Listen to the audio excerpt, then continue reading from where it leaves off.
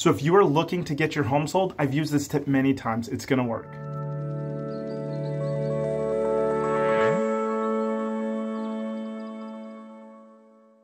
Okay, tip number one is to prioritize pre-sale repairs. Things like leaky faucets and squeaky doors and peeling paint. This small budget upfront will go a long way for buyers' confidence in your home. So make sure that you categorize the repairs based on urgency and importance. You'll want to tackle the essential repairs first, addressing any safety concerns and major issues that could deter potential buyers.